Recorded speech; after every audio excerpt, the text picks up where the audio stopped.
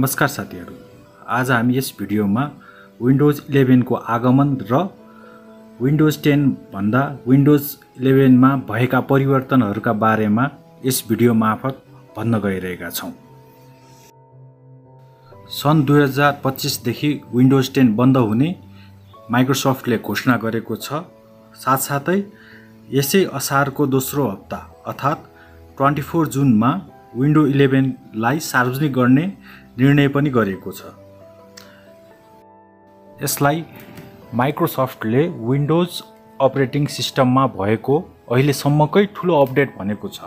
उक्त सार्वजनिकरण समारोहलाई माइक्रोसफ्टले YouTube channel मार्फत प्रत्यक्ष प्रसारण गर्नेछ।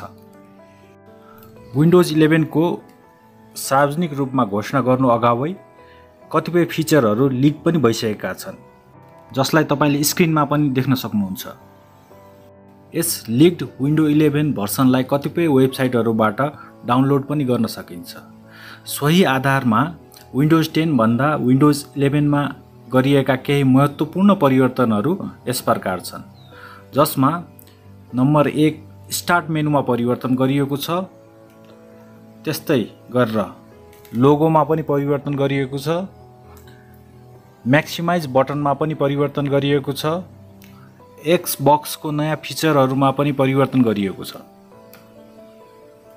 स्टार्ट मेनुलाई कम्प्युटर स्क्रिनको हालको देब्रे कुनाबाट टाक्स बार सहित बिच भागमा ल्याइएको छ।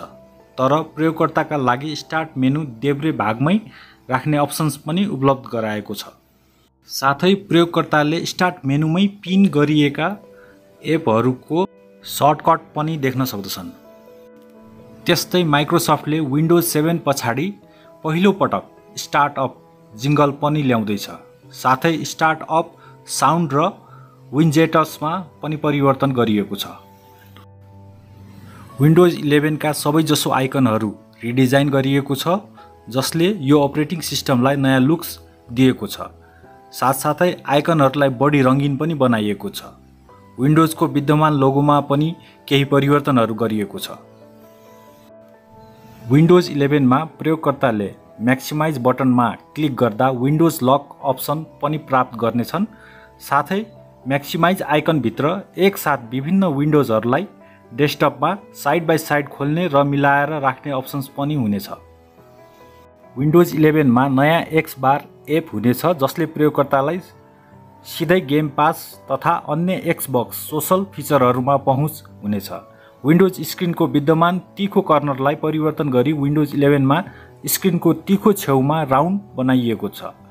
विन्डोज टे विन्डोज टेनका प्रयोगकर्ताका लागि निशुल्क रूपमा विन्डोज इलेभेनको अपडेट प्राप्त हुने पनि बताइएको छ। विन्डोज इलेभेनलाई माइक्रोसफ्टले आफ्नो अपरेटिङ सिस्टमको अहिलेसम्मकै ठुलो अपडेट हुने दावी समेत गरेको छ।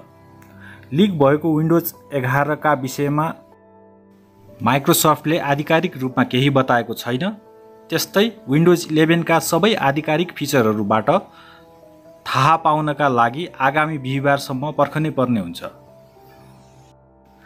भिडियोलाई अन्तसम्म हेरिदिनु भएकोमा धन्यवाद। यदि भिडियो मन परे लाइक र सब्सक्राइब पनि गरिदिनु होला